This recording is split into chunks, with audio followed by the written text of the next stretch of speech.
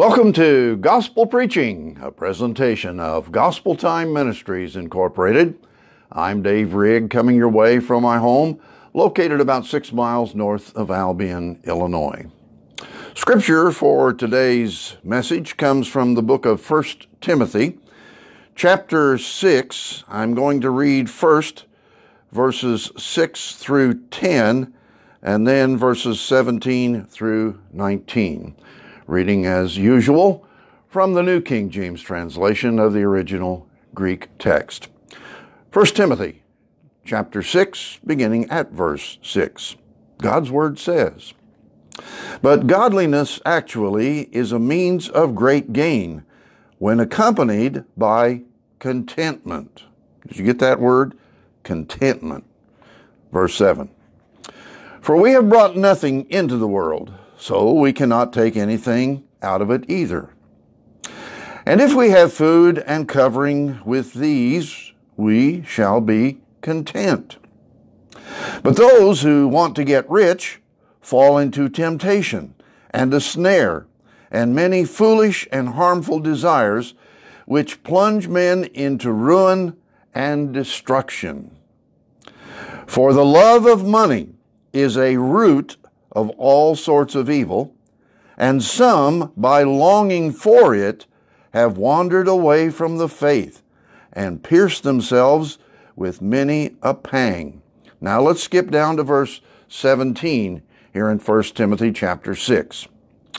Instruct those who are rich in this present world not to be conceited or to fix their hope on the uncertainty of riches, but on God who richly supplies us with all things to enjoy. Instruct them to be good, to be rich in good works, to be generous and ready to share. And finally, verse 19 storing up for themselves the treasure of a good foundation for the future, so that they may take hold of that which is life indeed. Would you pause with me just a moment for a word of prayer? Our Heavenly Father, in Jesus' name, I ask for your blessing on the reading of the Holy Word. I pray for your guidance, Lord, through the Holy Spirit, that I might deliver this message today in the way that you would want it to be spoken. And Lord, that you would continue to send these messages out to the people that you wish to receive them. This I pray in Jesus' name, and amen. Got a question for you. If you watch very much television, have you noticed how easy it has become to do some gambling? If you watch a Major League Baseball game or a National Football League professional football game, you might have noticed that at the bottom of the screen on your television, there will be a set of numbers next to the names of the teams. You may have wondered what that's all about. Well, friends, those are the odds if you want to place a bet on a certain team. Now, we know this. Pete Rose, several years ago, he got kicked out of Major League Baseball for placing bets on baseball games. And now even though Pete Rose, and don't get me wrong here now, I've never been a fan of Pete Rose. But anyway, even though at one time I had a chance to interview Pete Rose. But anyway, that's a side note. Even though Pete Rose has been banned from being uh, in the Hall of Fame, Major League Baseball now is encouraging people to place bets on baseball games. Lots of people like to go to the racetracks to place bet on the races of horses. Saw an interesting story. Preacher saw a homeless man sitting on a park bench one day, and this man seemed to be in deep misery. So the preacher walks up to the man sitting on the bench and he hands him a $20 bill. And he whispered to the man, never despair. Well, the next day, the preacher sees this man again, but this time the man is coming towards the preacher. The man gives the preacher three $20 bills, $60. The preacher looks at the money and he asks, Well, what's this for? The man says, You were right. Never Despair came in first yesterday, paying out six to one odds in the fourth race. Some people like to go to Las Vegas. Or maybe if you don't want to go that far and you don't have to anymore, there are a lot of casinos all around the area. So some people like to go to a casino. But you really don't even have to go to a casino these days to do some gambling. All you have to do is just buy some lottery tickets. Go into any convenience store in the area, and you're likable to see right there on the counter all kinds of lottery tickets for you to possibly purchase. Now, let me give you a little thing to think about. Suppose you had a savings account in a bank worth $5,000. You're saving money in a bank, you've got $5,000 there on in savings. So you get a call from the president of the bank, and he says to you, We aren't paying very much interest these days, especially on savings accounts.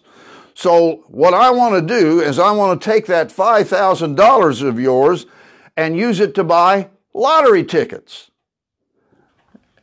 And then, see, if I spend $5,000 in lottery tickets, those tickets that I buy for you, you could hit it big and make a big return on your money rather than interest on your $5,000 in savings. What would you do if that happened to you? I know what I'd do. I'd change banks. I want no bank president buying lottery tickets with my savings account money. But that presents a problem or a question anyway. And this is very important for us to consider in this message today. What's wrong with buying lottery tickets or betting on horse races or on baseball games or football games or any other thing? What's wrong with doing that, especially if some people would try to use the excuse that I, I just do it to have some fun? It's fun to do that. What's wrong with that? Many times Christians will say, Show me a verse in the Bible that prohibits gambling. In other words, you show me, Brother Dave, uh, a verse in the Bible, in the Old Testament or New Testament, that says, Thou shalt not gamble. Well, I'll have to admit, you will not find a verse that says, Thou shalt not gamble. But I would also answer you is there is nothing in the Bible that says, thou shalt not use methamphetamines or meth. So, I ask you, is it okay then if there's no Bible in the, or no verse in the Bible that says thou shalt not use meth? Is it, is it okay then to use meth? Or is it okay to manufacture meth? Of course not biblical principles take care of why it's wrong to make or use methamphetamines. It's illegal. How about these? Thou shalt not drive 80 miles per hour through a school zone. Is there a verse in the Bible that says that? No, no such verse in the Bible. You see, the Bible is not a simple list of do's and don'ts. If it were, our Bible would be so big that it would take a semi to haul it around. So, if you want to, friends, it's possible for you to find loopholes in what the Bible might say is right or wrong. There is no verse in the Bible that says Thou shalt not buy lottery tickets. But let's look at some biblical principles which show, in my opinion, that it is clearly, undeniably sinful to gamble. Here's point number one Gambling is not the same as taking a risk. You got that? Gambling is not the same as taking a risk. Not all risks are gambling. Nowhere in the Bible does it condemn or condemn all forms of taking risks. You see, friends, if you just think about this, you take a risk every time you get in your car, right? It can be very dangerous to drive a car down the highway these days. And every farmer who ever plants a crop in his field, he takes a risk that those seeds that he plants will germinate, grow a big number of corn stalks or bean stalk or bean plants or whatever he's trying to raise, and that eventually he's going to be able to harvest a nice crop. So he takes a risk in doing that. Listen to a parable that Jesus taught one day that's recorded in the 25th chapter of the book of Matthew, and I'm going to start reading at verse 24. Then he who had received the one talent came and said, Lord, I knew you to be a hard man, reaping where you have not sown, and gathering where you have not scattered seed. And I was afraid, and went and hid your talent in the ground. Look, there you have what is yours. But his Lord answered and said to him, You wicked and lazy servant, you knew that I reap where I have not sown, and gather where I have not scattered seed. So you ought to have deposited my money with the bankers, and at my coming I would have received back my own with interest. Therefore, take the talent from him and give it to him who has ten talents. You see, Jesus actually condemned a man here for burying his treasure instead of investing it. Okay? Friends, investing your money in savings accounts is not gambling. Oh, I know your bank could uh, could go out of business, could fail, but even then, FDIC covers any money you might have in the bank. And I would also say that investing in the stock market is not the same as gambling. There might be a little risk, but it is not really gambling. Again, I'm telling you, friends, that not all taking risks is wrong. But gambling, I believe it is. You see, gambling winnings come from gambling losses. For every winner, there has to be many, many, many, many, many, many losers. One person gains because many, many, many, many other people lose. Nothing is produced whatsoever there. Nothing is created new.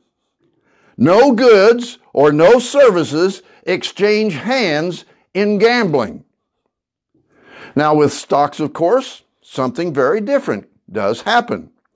Businesses are built, Goods are created, services are rendered, which in turn makes more wealth to reward everyone involved in investing in stocks. Savings in banks can be loaned out to other businesses or to farmers.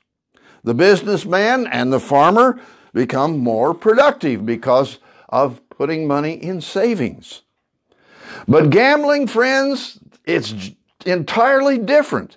Gambling is one person trying to get into other people's pockets without any effort whatsoever to earn the money they might get back by winning a gamble.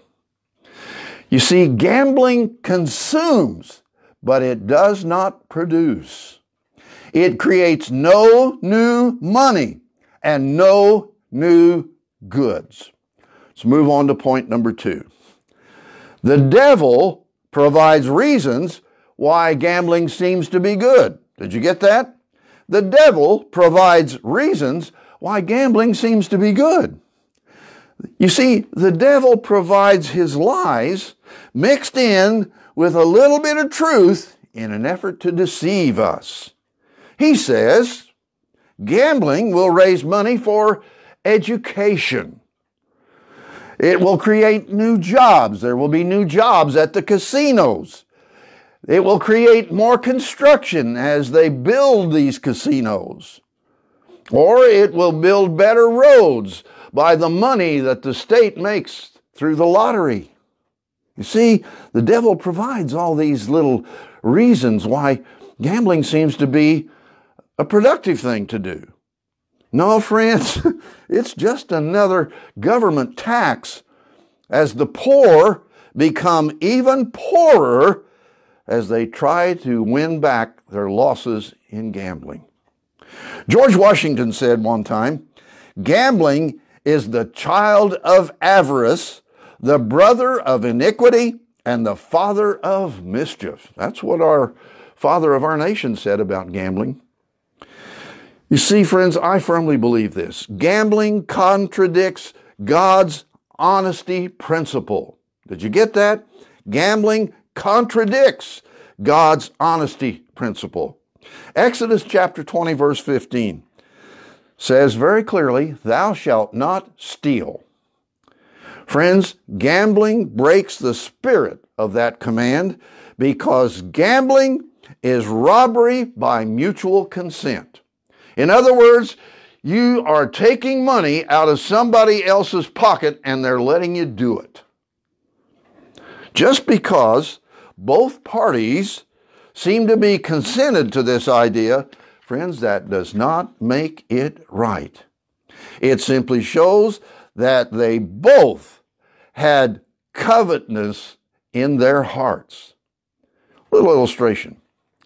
Two men walk into an alley. One man has a gun and he walks out with the other man's money. Or here's another illustration. One man has a pair of dice and he walks out with the other man's money. What's the difference there? Well, in the first case, there was a thief, right? The guy with the gun steals from the guy in an alley who has some money. In the second case, there are two thieves. Both of them certainly have a desire to take what rightfully belongs to somebody else. The man who gambles and wins is a thief. The man who gambles and loses, in my opinion, is a fool. Let's move on to point number three. Gambling contradicts God's love principle. That's an important point. Gambling contradicts God's love principle. Listen to what the Bible says in Matthew chapter 22, beginning at verse 35. These are the words of the Lord Jesus. Then one of them, a lawyer, asked him a question, testing him and saying, Teacher, which is the great commandment in the law? Jesus said to him, You shall love the Lord your God with all your heart, with all your soul, and with all your mind. Now listen to verse 38. This is the first and great commandment. Now, verse 39 And the second is like it you shall love your neighbor as yourself. On these two commandments have all the law and the prophets. So, in that passage here, Jesus said, All of the commandments that you might find in the Old Testament, or any of the other commandments that you might find in the New Testament, Jesus said, all of them hinge on two Number one, love God. And number two, love your neighbor. Right? You know it's right. Well, friends, nothing violates that more than gambling. How can you love your neighbor while you're trying to get what belongs to him? Gambling is pleasure and profit at the cost of another person's pain and loss. Let's move on to point number four. Gambling contradicts God's work principle. Now, this is a good one here. Gambling contradicts God's work principle. In 2 Thessalonians chapter 3 verse 10, God's word says very clearly, if anyone will not work, neither shall he eat. So in the Bible, honest work and wages always go together, just like this honest work and wages, okay? The Bible does not support getting something for nothing. Did you get that? The Bible does not support that, getting something for nothing. Virgil Peterson used to be the crime commissioner in Chicago, and I found an interesting quote from him on the internet. Let me read it to you. He said, Gambling produces no wealth, it simply redistributes it from the hands of the many to the hands of the few. Gambling invariably leads to higher police and welfare costs. Senator Alexander Wiley of Wisconsin said this The idea that legalized gambling will be a revenue raiser is an illusion. Every dollar raised from such sources means $5 spent in higher police costs, court costs, penitentiary costs, and welfare or relief costs. We know this Nevada is often referred to as the gambling capital of the United States. Did you know that the crime rate in Nevada is twice the national average? And the suicide rate in Nevada is triple the national rate. Henry Reed, chairman of the Nevada Gambling Control Commission, said this Any state trying to follow Nevada's lead will find that the social costs far outweighed any economic advantage. Herbert Jenkins, former president of the International Association of Police Chiefs, said this For every dollar received from gambling, government spends $10 fighting problems directly related to legalized gambling, including prostitution, embezzlement, bad checks, and police corruption. Racketeers and mobsters swarm to gambling communities and bring with them other sordid businesses. We know that's exactly what has happened many, many times in Las Vegas. Legalized gambling including the lottery, in my opinion, is a tax that preys upon people who can least afford it. I really believe if you would check out, you would see that a majority of people who buy lottery tickets, a majority of people who go to place bets at the racetracks, who form in other or get involved in other form of gambling are the least likely to be able to afford losing that money. Did you know that the biggest day of the month at the Atlantic City gambling tables is the day that the welfare checks come out? That's right. So many people then are taking their welfare checks instead of using it to buy food and clothing for their children and pay their rent and stuff, they're heading to the casino, Atlantic City, to gamble it away. Point number five gambling contradicts God's stewardship principle. Gambling contradicts God's stewardship principle. Let me ask you this what percentage of your money actually, according to the Bible, belongs to God? Think about that. Well, some people would say uh, 10%. No, no. According to the Bible, whatever you have in finances really belongs to God. It belongs to Him 100%. Good stewardship says, don't flush God's money down the toilet. We are called by Scripture, God's Word, to be good stewards of everything that God provides to us. And when you go out and buy lottery tickets, go to the casinos, go to Las Vegas, go to the racetrack, whatever, in a sense, you're flushing money down the toilet. Friends, or don't throw it out the window. We know that would be wrong to take money out of our wallets and go in and throw it in the pot and flush it down the stool or throw it out the window. That would be stupid, wouldn't it? But friends, I say to you, so is gambling with God's money being the wrong thing to do. Let me ask you this. Those of you who belong to a church, if you heard that your church was buying lottery tickets with the money that you put in the offering plate every Sunday, how would you feel about that? I would say that's God's money in that offering plate because God says all money is really His. Now, some Christians will say to us, Brother Dave, going to a casino, going to Las Vegas, buying some lottery tickets, going to a race racetrack, it's just entertainment. It's just a way of having some fun. They go with a certain amount of money, some of these people to Las Vegas, and they play the slot machines, or they go to a casino somewhere and they feed that one armed bandit, as they're sometimes called. And when they have the intention that they walk in there when their money is gone, it's gone. You better believe it's gone. God's money is gone. And you're still responsible to God for who ends up with your money and what will be done with that money. Let me ask you this question Who do you think controls the casinos? Do you honestly believe that people who own casinos are honest businessmen? What do they do with the money that they earn in these casinos?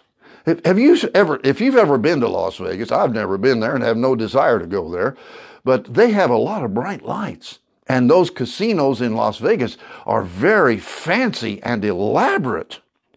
And some of these casinos that have popped up in our area. They're pretty fancy too. Well, where's, how's that money, where's that money coming from to pay for all these lavish facilities? You know where it's coming from. They're making big money on the money that's being gambled by people who are trying to get rich. Ask yourself, what goes on in Las Vegas or in Atlantic City, the two biggest gambling capitals in the United States. Friends, if you do some research, I think you'll find those two places depend heavily upon the revenue that they get from people who gamble there to support immorality. A lot of narcotics, a lot of prostitution, a lot of murders, a lot of intimidation, a lot of bribery. All of those things go on big time in those big gambling capitals. Friends, lottery ticket buyers are simply being motivated by a greed and covetousness. They want more than what they have earned. They are trying to get something for nothing. Point number six Gambling contradicts God's trust principle. This is another important point.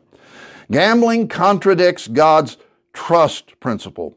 Philippians chapter 4 verse 19 says, "And my God shall supply all your need according to his riches in glory by Christ Jesus." Well, you see friends, gambling strikes at the root of our belief in a God who provides for the needs of his people. You're simply believing that God is not providing for me all that I need. I don't trust him to provide all that I need, even though his, Bible, his, his word says he will, but I don't trust that, so I want to go buy a lottery ticket or do some gambling so I can get rich. No, friends, you got to understand. We who are born again Christians serve a God who cares. He has promised in His Word to meet our needs. Maybe not everything that we want, not everything that we desire, not everything that we covet to have, but He has promised to provide our basic needs. I don't know about you, but I'm not depending upon a lottery ticket. I am depending upon the Lord. Some of the saddest faces you'll ever see are at the casinos after they've lost all their money. Some Christians justify gambling as just good, clean fun. Not according to the faces inside, if you'll take a look around, I think. Now, again, I've never been in there, but I've seen some, uh, some movies or some video uh, in news reports of people who were in gambling casinos. Every rare winner in a casino helps getting that money by playing away their winnings and then some. That, that's often true. Someone, let's say they, they pull the one armed bandit and a whole bunch of coins come out. Well, the first thing I ask is, where did all that money come from that was in that machine? Did the casino put that money in there? No. Other people who'd been using that machine before put all that money in there. But what happens in many times is someone does hit it big, and what do they do in many cases? Maybe not all the time, but in many cases, they go right back there and try to use more of that money to earn even more money. You see, even the rare winners cannot seem to help by playing away their winnings to get more. A grandma in Hawaii won $100 on her first try with a scratch off lottery ticket. Do you know what she did? She used that $100 to buy more lottery tickets trying to win the big jackpot. And then somehow she comes up with another $200 to buy even more tickets. And do you think she won any money? No. She lost even the $100 she had won with that first ticket. Point number seven. Gambling contradicts God's danger principle. Gambling contradicts God's danger principle. Proverbs 6, verse 27. Can a man take fire in his bosom and not be burned? Ooh. Let me say something here concerning that verse. No alcoholic ever planned on becoming a drunk when he took that first drink of alcohol. No drug addict ever planned on being addicted to that drug the first time he took a dose of meth. No rapist ever planned on doing that terrible thing when he first looked at porn magazines or videos. No gambler planned on becoming addicted to gambling with just that first lottery ticket. I want you to, do this. Next time you're watching a, a basketball game, a football game, or a baseball game, you look at the advertisements like FanDuel and all these other things, and there'll be a little in fine print. If you have a gambling problem, here's a phone number to call. Why do you think they need that? Because they know, they know that what they're trying to get you to do has a big danger of causing you to get addicted to gambling.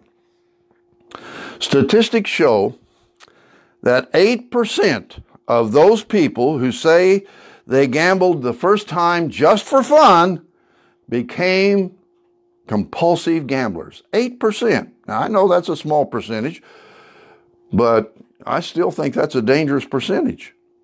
Here's another thing 85% will steal from their employer to pay their gambling debts. And I remind you what I read to you just a few seconds ago from Proverbs 6:27, can a man take fire in his bosom and not be burned? Friends, gambling is designed for you to lose. It is extremely unfair. First, for one person to win any money, many, many, many, many, many, many people lose.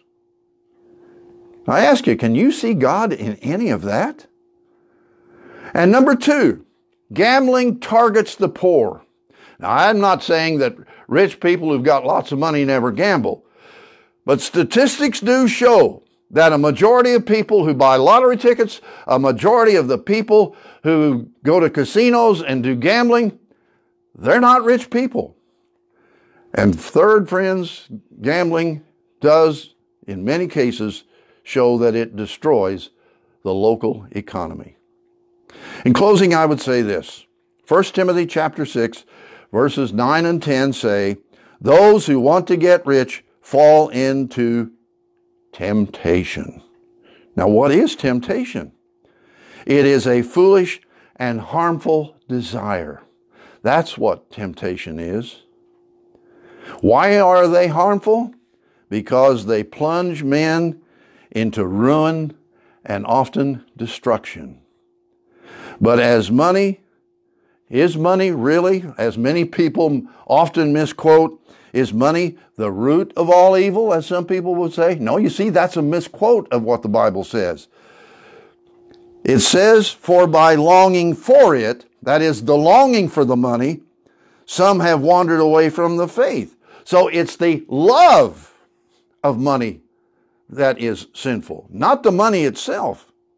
Now, again, in closing this message, what is more important to the born again Christian, your faith or your wallet? When we do the right thing, that is being content with what God has provided for us. I say to you, friends, don't be lured into the sin of gambling. It is a devious device of Satan, and it will bring no good into your life. I'm thankful that I've never been tempted to buy a lottery ticket.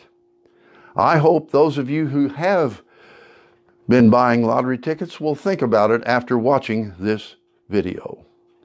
Let's pray.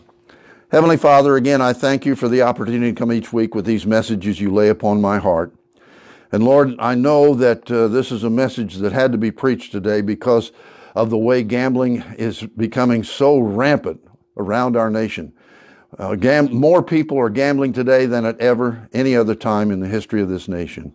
And it can be so destructive to families and to lives of people. Use this message, Lord, today, I pray in Jesus' name and amen. Well, thank you for watching Gospel Preaching today. Hopefully, the Lord will give me another week of life and another opportunity to come next week with another message for you to watch here on Gospel Preaching. My prayer is that in the meantime, the Lord will richly, not through gambling, but will richly bless you.